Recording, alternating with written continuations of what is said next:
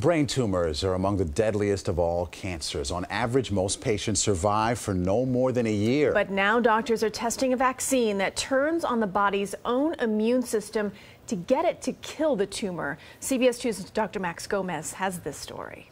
I started to get headaches at night and they got painful. The news for Renee Troiano was not good. An MRI revealed a brain tumor, and within a week she was in surgery. They showed me the MRI, and that's when it hit home.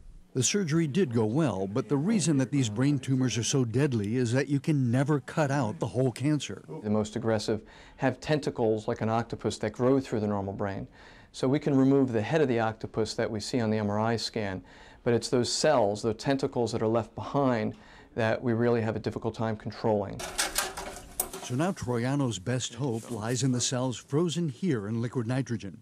They're part of a clinical trial for a promising vaccine called ICT 107. Here's how it works a specific type of white blood cell from the patient is primed in the lab to attach to markers that are present in brain tumors.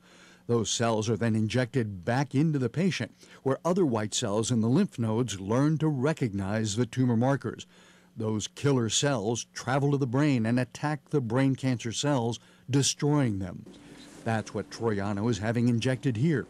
Without the vaccine, three out of four brain tumor patients die within two years. But in a small preliminary trial, in their phase one trial, it showed a 80% two year survival. And whatever it does, great. Mm -hmm. I'll be fine. Now, Troiano is part of what's called a double blind clinical trial, which means neither she nor her doctors know if she's actually getting the vaccine or a monthly placebo injection. But everyone in the trial gets the standard of care for brain tumors, which is chemo and radiation after surgery. In other health news, a surprising study reveals ovarian cancer screening is not preventing deaths. Ovarian cancer is one of the leading causes of cancer deaths among women, partly because it's usually not found until it's at an advanced stage.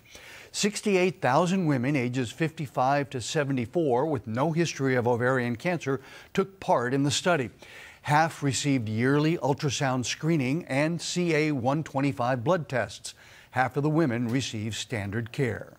The women who um, had cancer turned out to have the same stage of cancer and were no more likely to be cured of cancer than women who weren't screened.